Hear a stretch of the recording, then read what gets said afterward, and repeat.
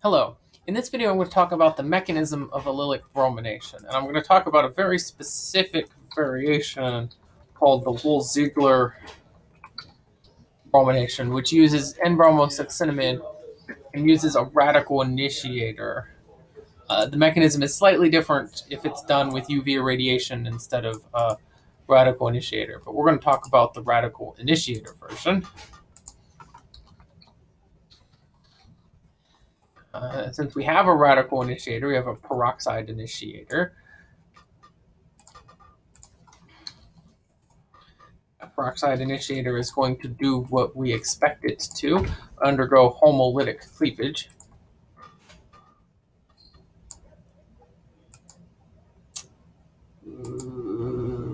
Radical arrow. Undergo homolytic cleavage and we're going to generate two alkoxy radicals, which is the behavior we expect out of our radical initiator.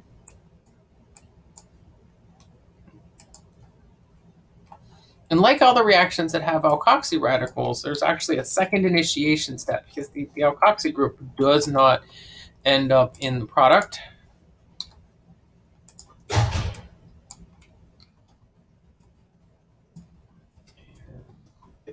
I'll set up here. Uh, the alkoxy group ends up abstracting the hydrogen to make the allyl radical that we need going forward. Woo! There we go. my radical, and the, the other product of this step is a molecule of alcohol, which, which now is done. Okay.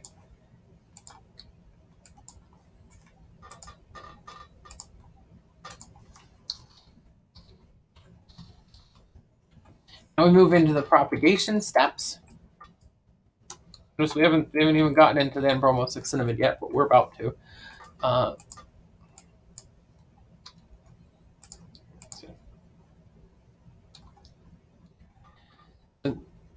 now that we have our carbon radical, our first step is uh, first propagation step involves abstraction. Uh, I do not like the way those arrows look, and, and if you've been watching my videos, you know I'm really peculiar about my arrows. Here we go. Uh, that looks better. I like my, my fish hooks and my fish hook arrows being outside of the curve.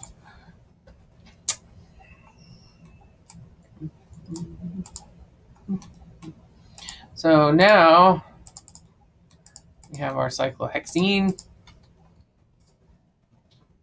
bromine. So here's our product. And the other thing that has formed is the succinimide radical. And so now in the second propagation step, we need to have another, uh, we need, we need to get the, oops, I don't want to move this, I just want to copy it. We need to get, oof, having trouble with copy and paste for this video.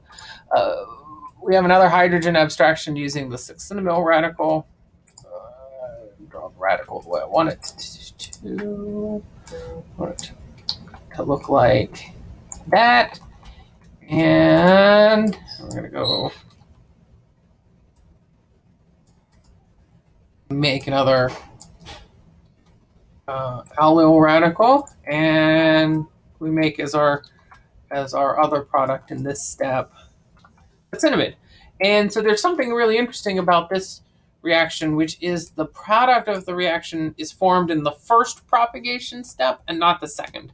Uh, in other radical mechanisms we've talked about, the product of the reaction is formed in the second propagation step. Uh, this actually forms in our first propagation step.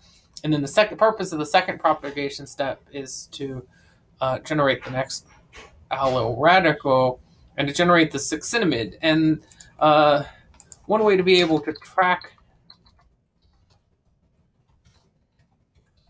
the, the progress of this reaction is that the succinimide byproduct is usually insoluble in the nonpolar solution that you're doing. Uh, and then this kind of uh, radical reaction can terminate by any of the types of processes that I've talked about in other videos, including uh, coupling, elimination, and, and so on. Uh, in the next video, I'm going to present the other mechanism, the one that happens without the radical initiator, but with UV radiation. Uh, since it doesn't have the initiator, the initiation step, of course, is going to change. Uh, and the propagation step actually changes a little bit. These propagation steps can occur, but there's some other stuff that can go on. All right, so thank you for watching.